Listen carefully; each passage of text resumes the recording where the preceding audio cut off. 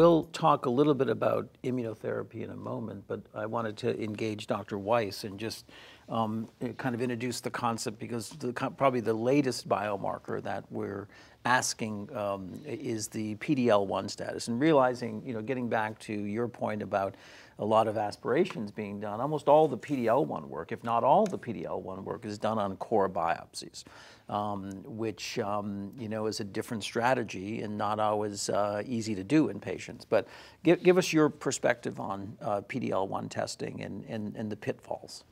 Sure. So I'll start with one thing that is not as much of a pitfall as people sometimes make it out to be, and that's quantity of tissue. Um, I think sometimes we talk about PD-L1 tissue as if it were the newest, most advanced uh, next generation sequencing with some kind of bio, advanced bioinformatics. It's, an, it's a simple IHC, just like the TTF1 or P40 we were talking about before.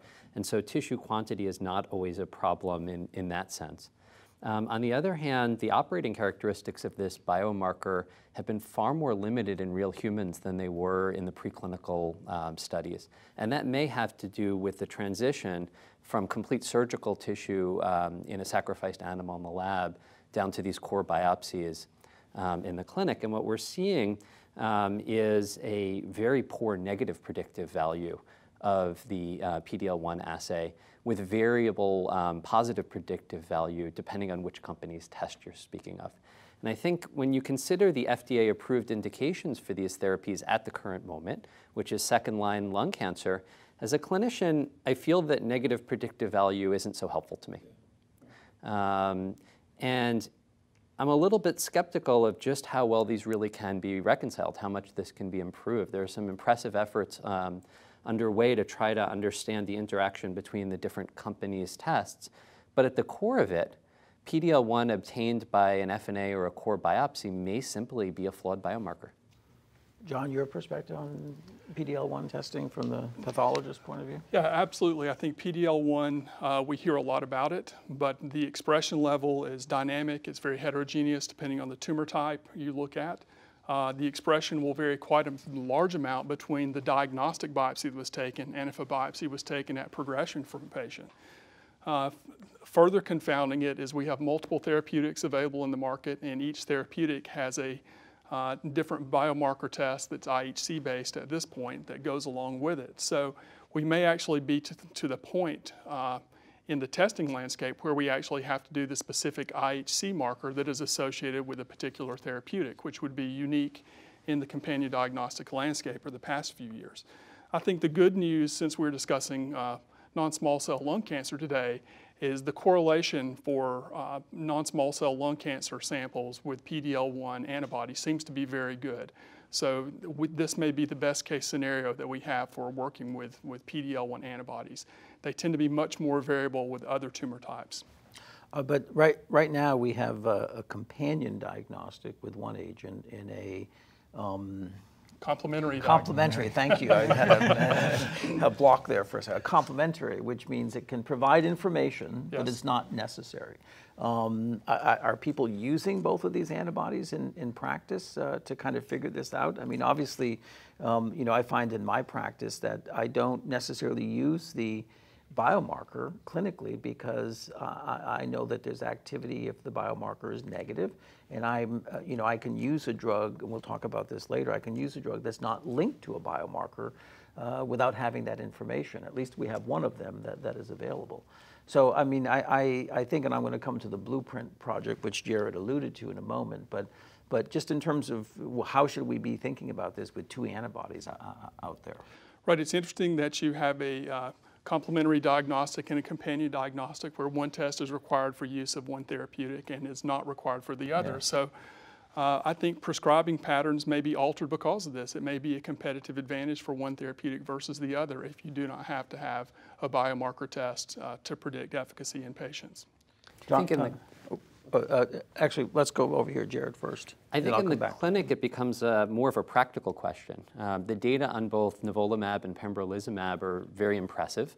I think uh, there's no clear distinction of one being more effective than the other. The advantage for nivolumab, as you were referencing, is you don't have to test, but for the patient that travels a great distance to come to the doctor's office, which for many of us um, at this table can be quite long, quite a far travel distance. The ability to use an every three week therapeutic uh, as opposed to every two week can matter for, for some patients. And so, from a very practical perspective, that drives some testing. I just want to piggyback on quickly from a practical consideration, also logistical consideration, of, and, and, how much tissue we may have left over when we're doing molecular interrogation and tissue that's needed for clinical trials is do we have enough left over for PD-L1 testing? And well, we've had some yeah. challenges with that uh, yeah. in our in our institution, and I think that's institution dependent. But certainly, I think there there are these are challenges. well, yeah, and I'm I'm getting you know Jared's point that currently these drugs are approved second line, so often you get there in all your tissue may be exhausted right. by that time. Greg, did you have a I, point? I just wanted to connect um, the two biomarkers we've talked about. We talked a little about EGFR and we talked a little about PD-L1, and, and it, it would be easy to get sort of to lump them together, that these are both biomarkers in the same way. But uh, to, to piggyback on what Jared was saying, the negative predictive value of a PD-L1 test is pretty poor. You know, there's the response rate for the PD-L1 negative crowd is on the order of 10%. And to, to we don't have a lot of data looking at EGFR mutation negative patients treated with EGFR TKIs looking at response rate. But the data we do have, the IPASS data looking at patients with EGFR mutations and without, those patients who did not have EGFR mutations had a response rate of 1%. So gefitinib had a response rate of 1% if you didn't have an EGFR mutation, 70% if you did. That's a huge spread. That's a biomarker. That's what we need right. in this space. Right. So one of the other issues that um, I, I also get a lot of questions from community oncologists is the struggle with getting these tests done. You know, at our institution, they're done reflexively. If a patient has adenocarcinoma, you know, the pathologist on their initial signing out of the surgical path will say, here's the diagnosis adeno, there's plenty of tissue, it's submitted for molecular, addendum will be issued when the molecular is done, it's all done reflexively. At the community, I think a lot of community oncologists struggle with that, getting their pathologist to do it.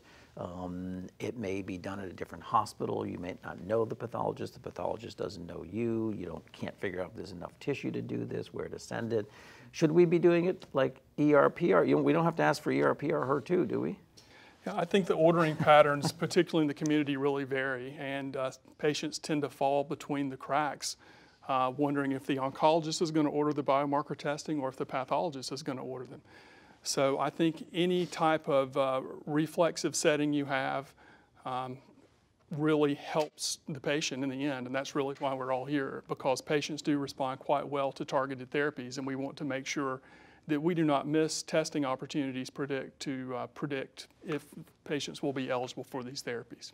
And I think we're getting better at getting the message out to our tissue procurers, you know, the thoracic surgeons, the um, pulmonologists, the interventional radiologists, I think understand that in lung we need more. So they're actually cognizant of that fact. And I don't know how pervasive that is at the community level, but uh, Right, and I, I, just think that it's it's been years, right, that right. we've wanted uh, to know EGFR mutation status up front. I think it's really been in the community for five, six years at least that we want this information. So, and I think there's a lot of talk about how much time molecular assays take, and if we had reflex testing, nobody'd care about time because it would it'd be happening before that patient even walked right. into the oncologist's office. Yeah, the clock would start 10 days earlier at the time of the biopsy That's versus right. start starting us now.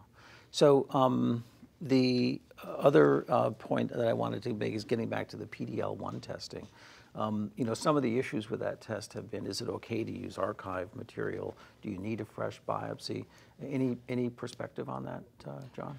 Yeah, the, the uh, concept of biopsy, rebiopsy at progression really is emerging, particularly now that we have an approved therapeutic for T790M mutation, a primary resistance mutation in EGFR, we're going to be doing a lot more rebiopsies to determine if patients are eligible for some of these targeted therapies. So, as I said, the PD-L1 expression level is quite dynamic, and you would um, probably have a more accurate representation of the expression level with a current biopsy rather than going back to a diagnostic biopsy which could be a year or even two years old at the time you want to do PD-L1 testing. So I think it certainly would be indicated.